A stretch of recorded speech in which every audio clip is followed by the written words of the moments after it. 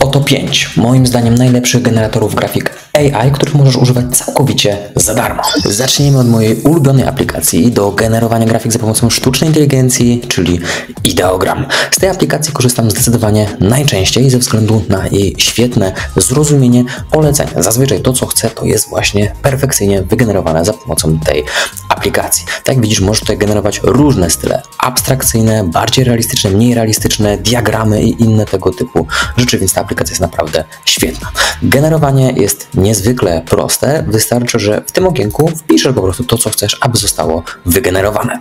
Możesz tutaj także używać języka polskiego i sztuczna inteligencja dobrze rozumie, co ma wygenerować. Po wpisaniu polecenia zerknij sobie tutaj na ten boczny panel po prawej stronie.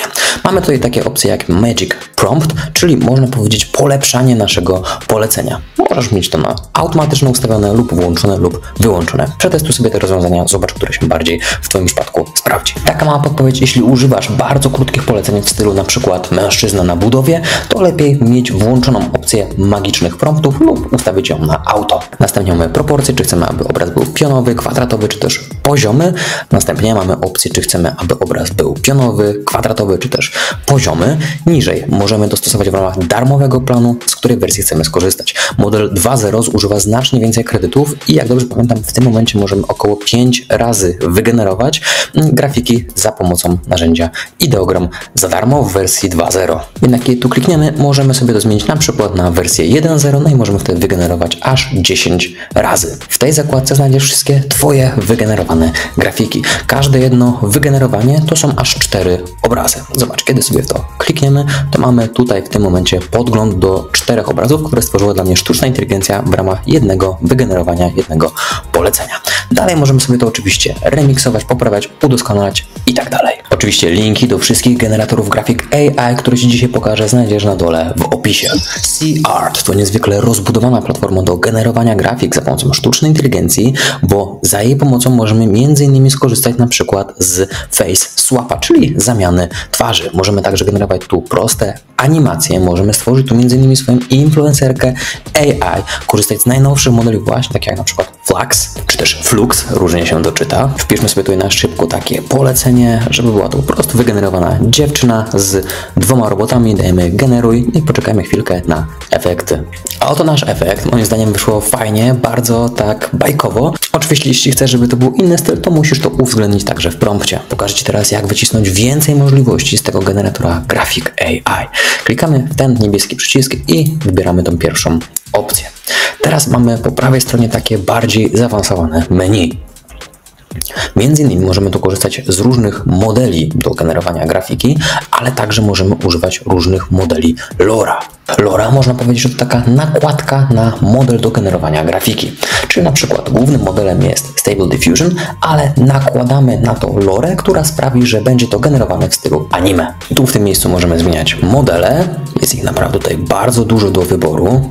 Możemy się tu przełączać między wieloma modelami. Możemy się przełączyć na przykład na takie, które specjalizują się w generowaniu kobiet, które specjalizują się w generowaniu anime, albo takie, które specjalizują się w generowaniu realistycznych zdjęć. Powiedzmy, że wybierzemy sobie ten model tutaj realistyczny mężczyzny. Na to możemy oczywiście dodać tutaj lore, tak jak wcześniej wspomniałem, i klikamy tutaj niżej. Aby dodać model lora, wystarczy po prostu w niego kliknąć. Przeglądać można oczywiście te wszystkie możliwości. Niżej mamy kilka opcji, które mogą pomóc nam zoptymalizować koszt generowania obrazów. Między innymi na przykład ilość obrazów, które chcemy, aby sztuczna inteligencja dla nas wygenerowała. Ja proponuję ustawić sobie tutaj na dwa, bo wtedy po prostu wiemy, czy idziemy w dobrym kierunku, czy też nie. Jeśli tak, oczywiście możemy sobie to dalej generować.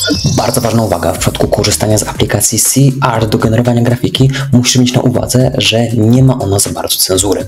To znaczy, że może się zdarzyć taka sytuacja, kiedy powiesz, aby wygenerował Ci na przykład kobietę i zapomnisz dodać, aby była ubrana w czerwoną sukienkę, to może ona nie mieć na sobie tego ubrania.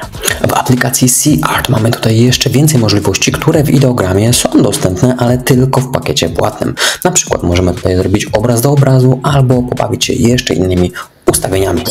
Trzecie narzędzie do generowania grafik AI, które Ci dzisiaj pokażę, to Leonardo AI. Klikamy tutaj, a następnie możemy w lewym bocznym menu dostosować parametry dość podobnie jak w przypadku C-Art, z tą różnicą, że tutaj część tych zmian jest dostępna tylko i wyłącznie w planie płatnym. Na przykład ilość grafik, które chcemy wygenerować, zawsze musi być ustawiona tutaj na 4 w darmowym planie, przez co no niestety te darmowe kredyty będą nam szybciej schodziły.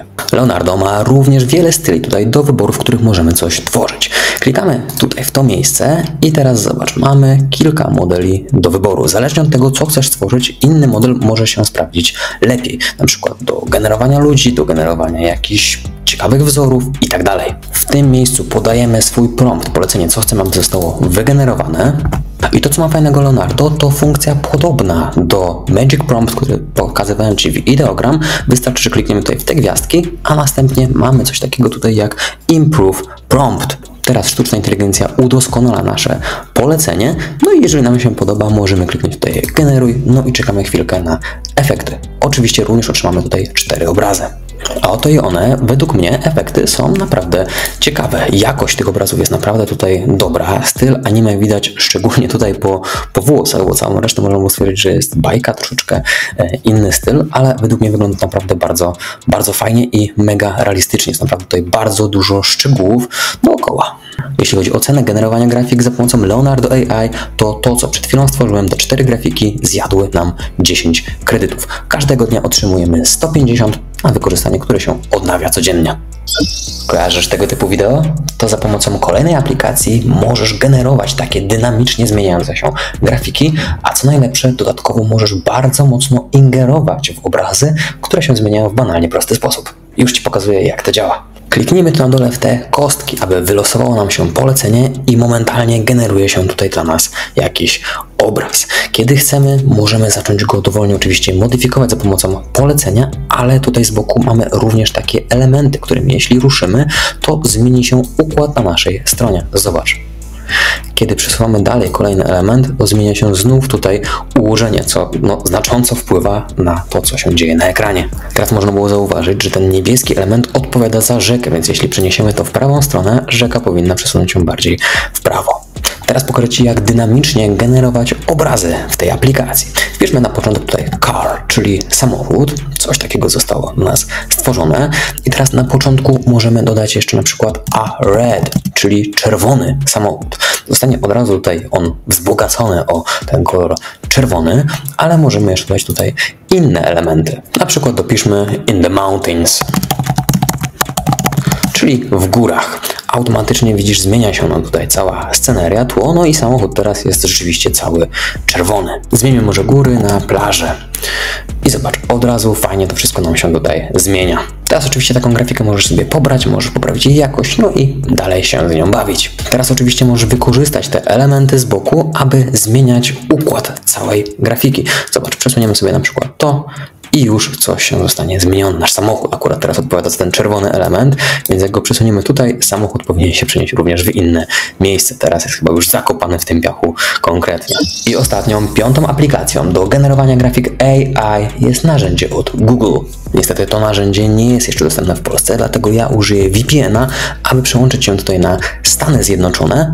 Jeśli nie masz jeszcze VPN-a, to sprawdź koniecznie link w opisie. Po aktywowaniu VPN-a i zmianie lokalizacji na Stany Zjednoczone dostajemy dostęp do takiego panelu, w którym możemy m.in. generować wideo, generować grafikę i muzykę za pomocą sztucznej inteligencji. Alternatywnie mogę Tobie także polecić jeszcze Gemini. Jest to czat AI konkurencyjny dla czatu GPT. Nie jest to typowy generator grafik, jednak ma możliwość tworzenia obrazów wewnątrz czatu. Teraz możesz mi powiedzieć, że ChatGPT też to potrafi. Jasne, ale ChatGPT ma bardzo duże limity, szczególnie w darmowej wersji, około 2-3 obrazki dziennie, a tutaj w Gemini możemy tych obrazów stworzyć naprawdę bardzo dużo, a jakościowo są one na moim zdaniem lepszym poziomie. Zobacz jak to działa. Wrzuciłem tutaj bardzo proste polecenie, aby stworzył obraz mężczyzny jadącego w czerwonym samochodzie po plaży, tak aby porównać to z poprzednimi efektami, które stworzyła dla nas wcześniejsza aplikacja. No i zobacz, jak to wygląda. Moim zdaniem wygląda to naprawdę ciekawie. I teraz możemy kontynuować generowanie grafik, dając mu jakieś szczegóły, aby coś zmienił lub cały prompt od nowa.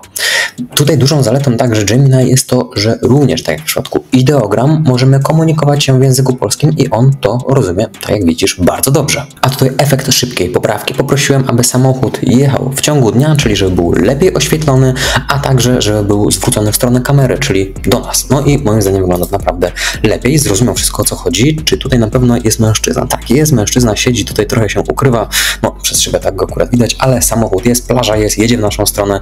Teraz wygląda trochę jakby z wody wyjechał swoją drogą, ale generalnie jest ta grafika zgodna z tym, o co poprosiłem sztuczną inteligencję. Co jest kolejną zaletą Gemini, to to, że generuje on grafiki naprawdę bardzo szybko, chyba najszybciej ze wszystkich przedstawionych dzisiaj modeli. Zobacz, jak to się naprawdę szybko zmienia i rozumiem, można dalej uzupełniać prompty, co też go wyróżnia tutaj na tle pozostałych generatorów. Jedynym minusem, o którym warto wspomnieć, to, że nie może on generować ludzi. Tak jak widzisz tutaj na tych obrazkach nie ma ludzi, jednak tutaj, tak jak wyżej wspomniałem, był mężczyzna, który prowadził to auto i nie wychwycił żadnego błędu. Tak więc czasami mu się to zdarza, ale zazwyczaj sobie zastrzega, że jednak nie może generować jeszcze ludzi. To już wszystkie z top 5, a w zasadzie 6 aplikacji do generowania grafik za pomocą AI. Jeśli masz jakąś inną top aplikację, której tutaj nie było, to koniecznie podziel się nią w komentarzu.